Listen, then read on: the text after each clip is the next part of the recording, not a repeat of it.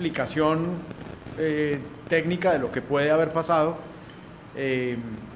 que nosotros recibimos, pero que por supuesto no tenemos posibilidad técnica todavía de, validar.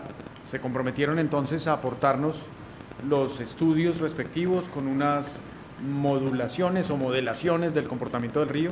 para encontrar la explicación técnica precisa de lo que está pasando eh, con esa barrera de protección. En síntesis, lo que nos dicen es, se desprendieron 34 poliedros de un total de 1.800, que en número pues no representaría mucho.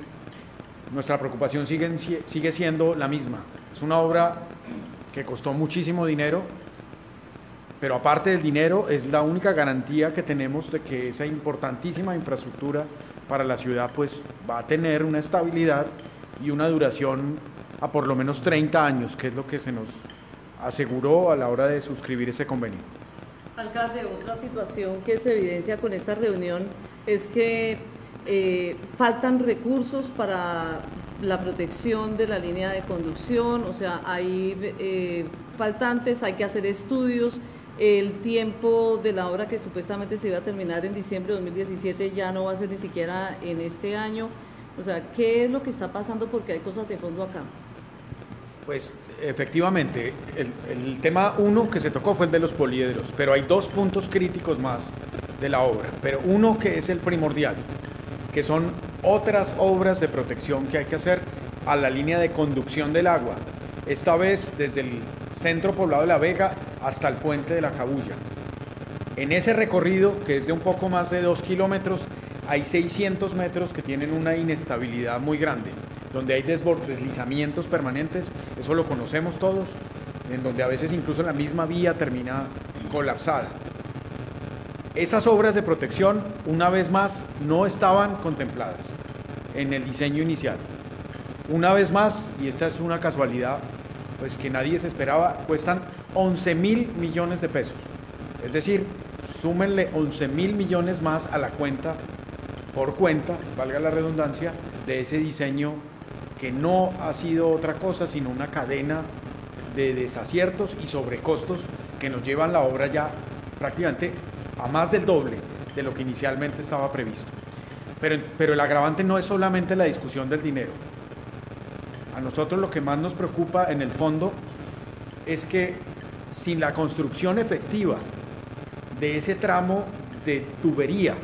y la protección que garantice, eso esperamos que sea lo que ocurra, que garantice que el río no la va a romper, no va a dañar la tubería, no es posible traer agua de esa planta hasta Yopal, que es el objetivo final de esas inversiones. Y Findeter, que era la entidad responsable de adelantar los diseños de esas obras de protección no contempladas inicialmente, entregó los diseños hace apenas un mes. Exactamente nos acaba de constatar eso el vicepresidente técnico de Findeter el día 5 de agosto. Yo debo aclararle a toda la opinión pública yopaleña, a la gente que nos ve a través de los diferentes medios de comunicación, que no es aceptable que en este momento pretenda achacársele responsabilidad sobre cualquier retraso en la ejecución total de la obra de manera exclusiva o al departamento o al municipio cuando, como acabo de decirlo, obedece a cuestiones netamente de diseño, ese retraso en la revisión de ese tramo que hay que proteger de manera especial, cuyos diseños estaban a cargo de Findeter y apenas concluyeron hace un mes, que van a costar 11 mil millones de pesos, cuya ejecución toma 13 meses, una vez comience la obra a ejecutarse, pero que antes de comenzar a ejecutarse debe surtirse un proceso de contratación que en la vida de la administración pública no toma menos de dos meses, un proceso de gestión de recursos que con la realidad financiera que tiene hoy el departamento de Casanare, que es la entidad que se comprometió a hacer esas inversiones inicialmente en uno de los varios otros SIS y reformulaciones del proyecto, esa consecución de recursos dentro del nuevo esquema de las regalías o, el desaplazamiento de recursos del viejo esquema de regalías no toma menos de tres meses.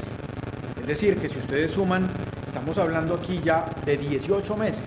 año y medio, sin contar con un proceso de licenciamiento ambiental por parte de Corporinoquia que no sabemos cuánto pueda tomar, si se puede desarrollar en paralelo o tenga que ser hecho previamente, lo cual adicionaría más tiempo. Y el agravante de que las obras solo podrán ejecutarse en la temporada del año que lo permita por cuestiones de clima, es decir, en el verano. Entonces, yo tengo que ser franco con la opinión pública yopaleña, con los ciudadanos, a quienes nos debemos y a quienes debemos cumplirle con la entrega de estas obras y decirles con toda la eh, franqueza, valga la redundancia, que ese es el estado de cosas hoy. La discusión, yo tengo la sensación que a veces pretende limitarse al aspecto económico y de responsabilidades sobre la financiación. Pero desafortunadamente ese no es el problema. El problema hoy es tener que estar asumiendo todos los asuntos no planificados, no previstos y tampoco financiados con una ejecución desafortunadamente tardía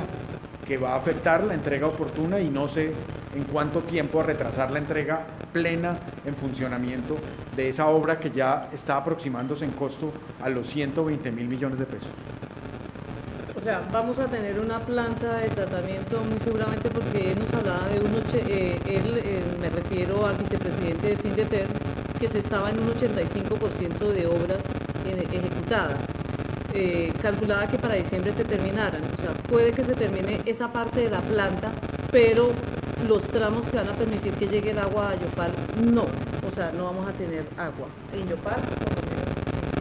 eh, con respecto a esa planta de yo, yo, Sí, eso hay que aclararlo. Agua existe hoy. Yo quiero aprovechar para hacer una claridad. Hoy los yopaleños recibimos agua en nuestras casas gracias a las inversiones hechas. De un lado, por la gobernación de Casanare, en un monto aproximado de los 22 mil millones de pesos en un sistema de pozos profundos y por el otro lado a la alcaldía municipal de Yopal con las inversiones hechas en el sistema alterno. La primera planta, que fue la planta que hubo que rehacer, que hoy denominan planta conciliada, con un costo cercano a los 11 mil millones de pesos, y la otra planta, que se financió con cargo al fondo de empresarial de la Superintendencia de Servicios Públicos, también por un costo cercano a los 11 mil millones de pesos, es decir, otros 22 mil millones de pesos que estamos pagando los usuarios en la factura. Entonces la inversión acá, para que haya agua en Yopal hoy, la ha hecho el departamento de Casanare y el municipio de Yopal. Eso debe quedar completamente claro, con los dos esquemas alternos, pozos y sistema de la Vega. El sistema principal que está en construcción, cuya verificación, aval y ejecución ha estado de manera completamente eh, autónoma en instancias del nivel nacional, está todavía con un tramo muy difícil por recorrer, que son esas obras nuevas de protección y además la parte que hemos dicho desde el primer momento, que no entendemos cómo se omitió, que fue la construcción de la red del puente La Cabulla hasta Yopal, que como municipio hemos dicho que vamos a asumir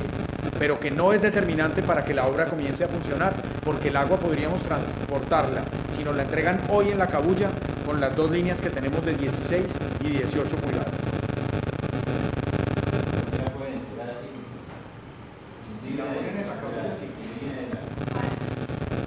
No llegaría al caudal pleno, pero la, pero la planta puede comenzar a funcionar.